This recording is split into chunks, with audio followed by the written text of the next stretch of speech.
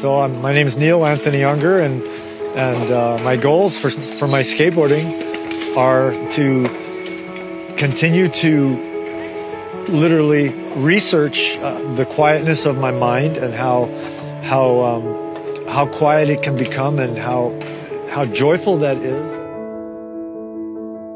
When I first discovered skateboarding, I thought, "Oh my God, I want to do this." I, I, I, there's something about it that that feels so um, it, it quiets the brain the, the mind it, it turns the, the thinking off.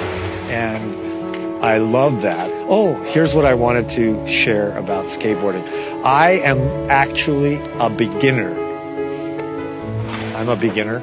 I can not do all the basic tricks. I can do maybe 10 to 20 percent of the basic skateboarding tricks and I my goals for myself are to to strengthen my muscles by by giving myself energy in, in whatever way my my self can figure out how to do that.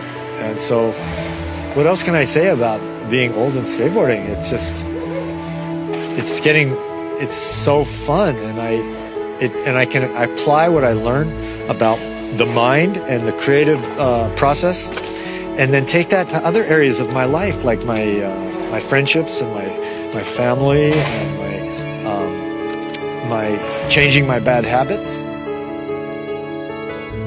One of the main reasons why I wanted to skate to show people that this is possible, that it's possible to be strong, it's possible to be uh, in good condition, uh, and to continue to be creative. And of course, so my, my, my main goals are just to be uh, continuing to be able to skateboard on a daily basis because it's it's it's a platform where I can uh, experience the most interesting parts of my mind and then apply that to other areas of my life.